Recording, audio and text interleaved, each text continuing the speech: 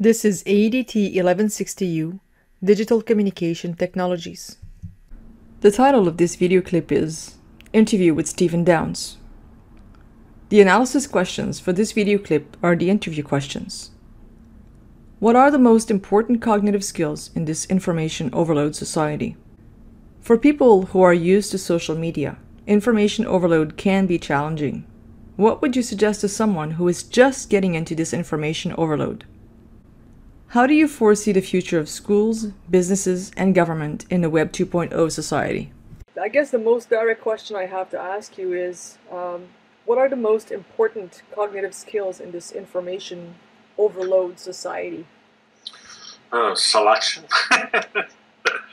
Uh, certainly, that's an important one. It's it's always always has been important historically. It's just we see that more and more uh, today. I mean, just being able to pick out of a complex information environment what uh, what data is relevant, important, and salient at the moment. That's probably a key. Um, and then drawing inferences from that.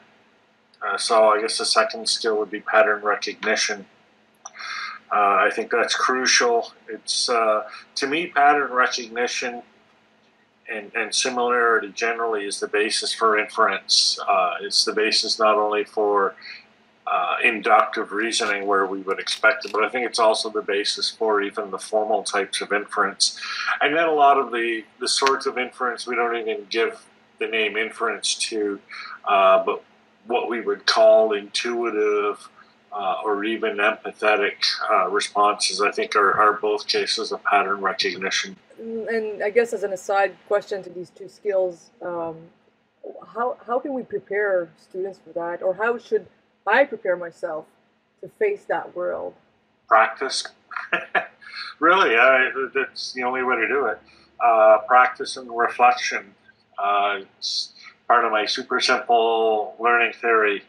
Uh, to teach is to model and demonstrate, to learn is to practice and reflect. Uh, it's really too simple to be called a theory, and it's probably not mine anyways. But in you know, I mean, you think you know just in, from the perspective of those two skills, right? Selection and pattern recognition, which which are really actually two sides of the same skill. Now that I think of it, uh, it really is just a matter of, of doing it and honing your abilities at it. Uh, you know, think think of things like wine tasters, right? Uh, they start off, they can barely distinguish wine from beer, uh, but by the end of their training, you know, they, they can distinguish which plant the grapes grew on. You know, it's, it's ridiculous. Uh, you know, similarly, people's sense of color with aesthetics. Uh, some people can distinguish between 89 shades of white. Me, I have white and non-white, uh, and that's pretty much it. I should go on with examples like that, but what happens in all of these cases, you know, I mean, medical diagnosis, landing aircraft, uh, advanced mathematics, what happens in all of these cases is you begin with a very coarse and unrefined perception of the phenomenon you're dealing with. Uh, but through practice, you know, and, and, and not just doing the same thing over again, but, but practice, feedback, reflection, response. Through practice, you develop this more fine grained, fine tuned uh, sense of pattern recognition, and that makes you much more able to adapt and respond to circumstances. Right. So, in other words, don't wait. Start now. It's messy. You won't be comfortable. Get out yeah. there and do it. Yeah. You also asked, you know, about preparing students for that, and that's the modeling and demonstrating part of it.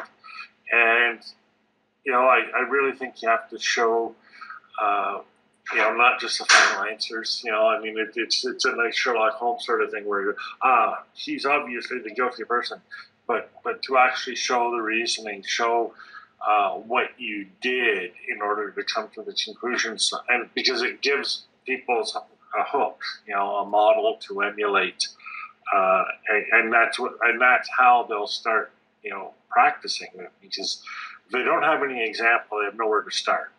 You know, they're, right. they're, the practice and reflection will eventually actually take them beyond the model, but they need some place to start. That's why modeling and demonstrating is so important. So you would you would figure that you would suggest that as as as a professor, as a teacher, a person should get in the mess of things and yep. show that the process is difficult.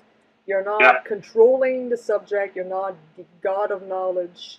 Yep. And when you are there, students will see you scratching your head and thinking, "Oh, I've got this missing," or maybe maybe the information is incomplete, but I know this guy who can provide me with some and allowing exactly. that humility. I used to teach logic, and the most effective part of my logic classes would be the reading of the daily newspaper, where I'd go to the letters of the editor section, because always the best stuff's always there, and and pick out letters and analyze them, right? And you know they're not pre-made, you know, carefully crafted examples. The writing is loose and sloppy and messy, and uh, you know, you have to go through this process. What could this person possibly be trying to say? You know, and then you know, once you get what they're after, figuring out what's wrong with it because there's almost always something wrong with it. Uh, and and that was you know that's the sort of process that you know students can say, oh yeah, I get this. It's not like there is a right answer, although there sometimes is.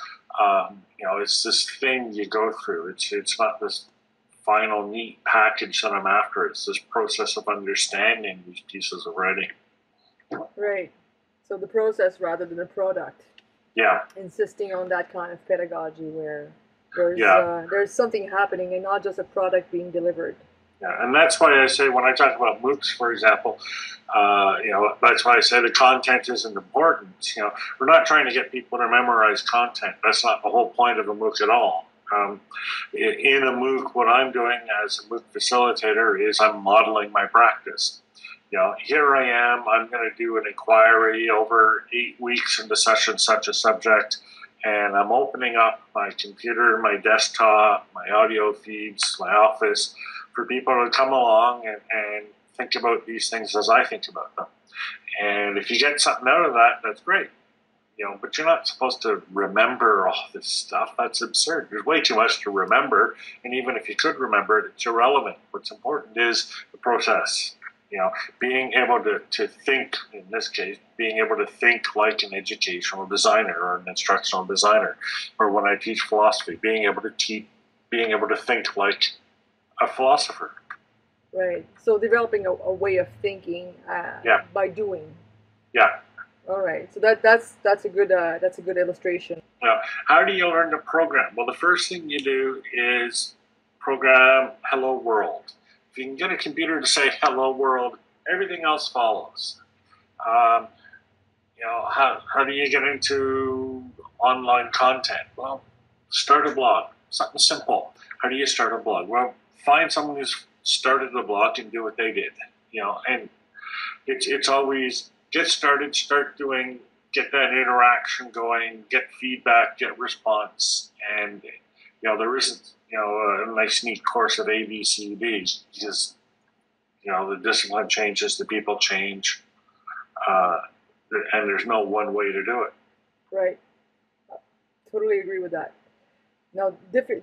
Totally agree, but difficult to do.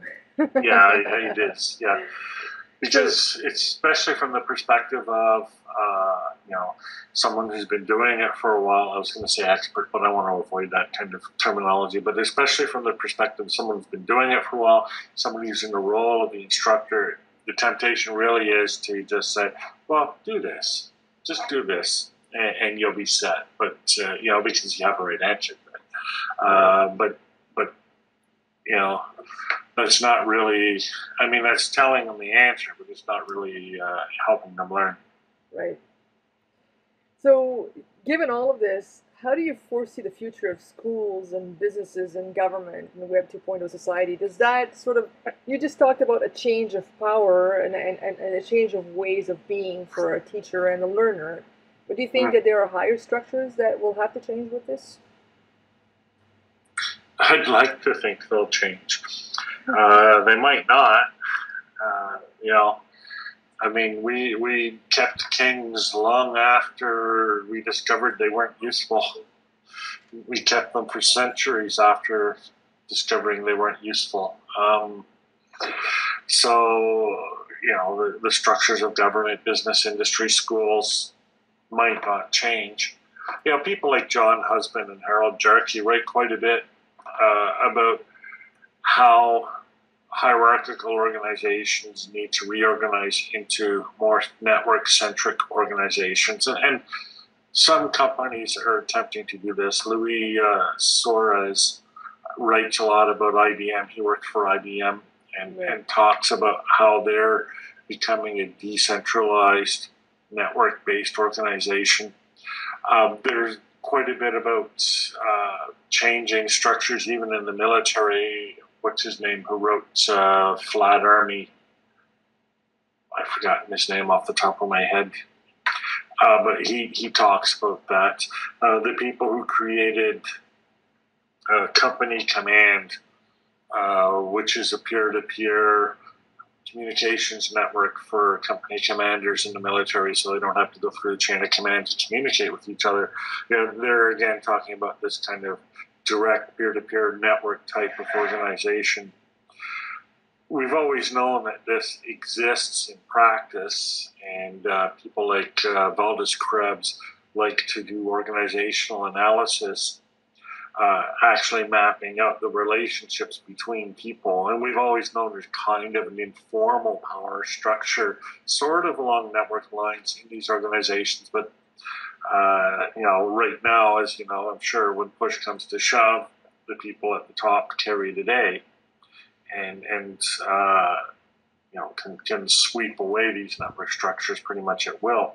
But, but I do think that insofar as a network organization is more efficient and more effective, and I do believe they are, I think there's plenty of evidence that they are, uh, they will over time replace the, the more structured and hierarchical types of organization. Uh, but uh, it's not going to be a smooth, easy, or a quick process, and, and, these things never are. Right. I think it was about 15 years ago when uh, Brown and Duguid were writing The Social Life of Information, I read somewhere in one of the chapters, you know, if only HP knew what HP knows. And yeah. You know, yeah. Well, exactly. Yeah. well, thank you so much. You're welcome. The synthesis questions for this video clip are as follows. What is the main lesson that Stephen Downes is trying to teach us? What are the challenges with his ideas? What concrete action can someone take to get started?